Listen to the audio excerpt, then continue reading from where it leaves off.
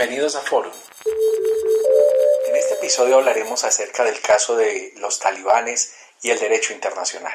Trataremos de abordar algunos de los principales tópicos de la difícil situación que está viviendo Afganistán. Al efecto nos acompañará el profesor de la Universidad Católica Luis Amigó, Richard Stevens Molina. El profesor Molina es magíster en Derechos Humanos por la Universidad de Ankara, en Turquía. Profesor Molina, para iniciar este abordaje le propongo una primera pregunta. ¿Qué son los talibanes y cuál fue el origen de este movimiento? Los talibán son un movimiento político-militar cuyas bases ideológicas se sustentan en el Islam suní con tendencias radicales. Talibán deviene de la lengua pashtun, que significa literalmente estudiantes de teología islámica, o talib. Los talibán se hacen llamar estudiantes debido a su formación religiosa en el seno de las madrasas o escuelas coránicas en la Pakistán del siglo XX. Para entender el origen de los talibán y su relación con Afganistán y Pakistán, es menester situarnos en el contexto político de Asia del Sur de los años 70. Hace 48 años atrás, Afganistán era una monarquía constitucional. El último rey de este país fue Mohammed Zahir Shah. Para 1973, la monarquía sería derrocada por un político secular, el cual eliminaría elementos islamistas del Estado afgano. Este político se llamó Mohamed Daoud. El señor Daoud también sería derrocado del poder en razón a sus tendencias totalitarias. El golpe de Estado se consuma en 1978 por un partido comunista denominado Partido Democrático Popular de Afganistán. ¿Qué sucedió?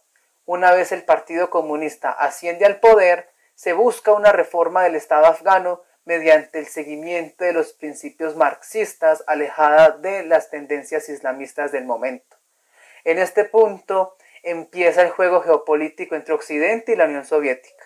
El gobierno de los Estados Unidos busca la creación de un bloque anticomunista que amenaza la frontera de la Unión Soviética sureña mediante la desestabilización de Afganistán.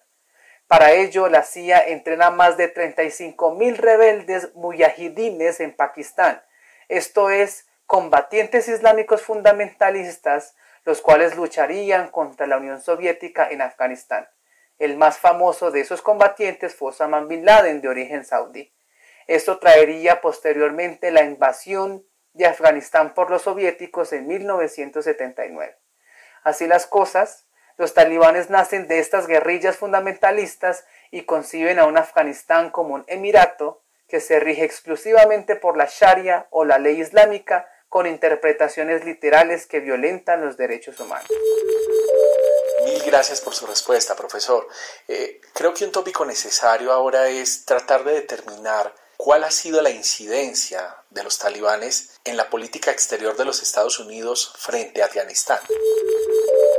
La incidencia de los talibán en la política exterior de los Estados Unidos emerge cuando este grupo fundamentalista es acusado de albergar en sus filas a terroristas como Al Qaeda, teniendo en cuenta que el ataque contra World Trade Center en 2021 fue planeado por un mujahidín como Osama Bin Laden. Estados Unidos estaba convencido de que las milicias talibán no solo querían unificar culturalmente ni religiosamente al país, sino que además los talibán estaban convirtiendo a Afganistán en un centro de operaciones contra la seguridad del país norteamericano. Por tanto, la doctrina de la guerra preventiva de George Bush es lanzada contra Afganistán. Estados Unidos despliega tropas especializadas para desmantelar Al Qaeda y de esta manera derrocan colateralmente a los talibán del poder en 2021. Una vez Estados Unidos interviene en Afganistán, inicia una guerra civil de más de 19 años, dejando alrededor de 150.000 víctimas mortales y 1.2 millones de desplazados. La retirada de las tropas estadounidenses de Afganistán entre 2018 y 2020, aunado al fallido proceso de paz con los talibán, indica que los altos costos de la guerra y la falta de interés de los gobiernos Trump y Biden en una agenda de política exterior sólida para Medio Oriente conllevaron a que Estados Unidos desistiera de esa omnipresencia en las colisiones políticas mundiales. Uno de los principales temores de la comunidad internacional y desde luego de la población afgana está relacionado con la limitación de los derechos humanos, especialmente la restricción a la libertad y la protección a los derechos de la mujer. ¿Qué podemos esperar al respecto con la llegada de este poder o gobierno religioso? Las nuevas generaciones de los talibán no distan mucho de aquellos fundamentalistas de los años 90. La guerra civil afgana actual demuestra esa situación. La multiplicidad de crímenes internacionales cometidos contra la población afgana indica que los talibán seguirán aplicando la Sharia de una manera literal y sin contemplaciones. Seguirán entendiendo al derecho internacional y a los derechos humanos como una imposición de Occidente. Quienes sufrirán cruelmente las políticas radicales de los talibán serán las mujeres, los niños y las niñas. Se les negarán sus derechos a la educación, al libre pensamiento, el contacto con las ciencias, las artes y el conocimiento. Como lo dijo la cineasta Shahbano Sadat, si sobrevive a los talibán, su arte habrá cambiado para siempre, queriendo decir que las artes son fenómenos de resistencia en un mundo oscuro como el de los talibanes.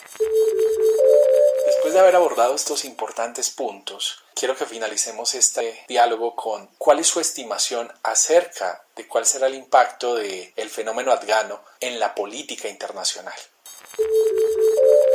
Como se sabe, Afganistán no es un país petrolero. Sin embargo, sus tierras áridas y antiguas son ricas en minerales preciosos como el cobalto, el hierro, el cobre, el litio y las tierras raras. Estos minerales son usados en las nuevas tecnologías de la información y el mundo de la construcción, cuya proyección económica es de 850 mil millones de dólares. Estos azares geopolíticos son aprovechados por China, quien codicia tales minerales a partir de la nueva ruta de la seda. Su objetivo es edificar rutas viles, ferroviarias y navieras a través de Asia y Europa con los materiales extraídos in situ, aunado de la dinamización de la economía con materiales aplicados en tecnología. Sin embargo, las cuestiones de seguridad aún ponen en vilo al gigante asiático. Por otra parte, la Turquía de Erdogan se verá involucrada con los talibán con el fin de frenar la llegada de refugiados afganos en las fronteras terrestres, especialmente con los límites de Irán. La xenofobia contra los afganos en Turquía se intensifica, lo que pone aprietos a la política interna. A su vez, las tensiones emergen con la Unión Europea, en tanto el bloque comunitario quiere convertir nuevamente a Turquía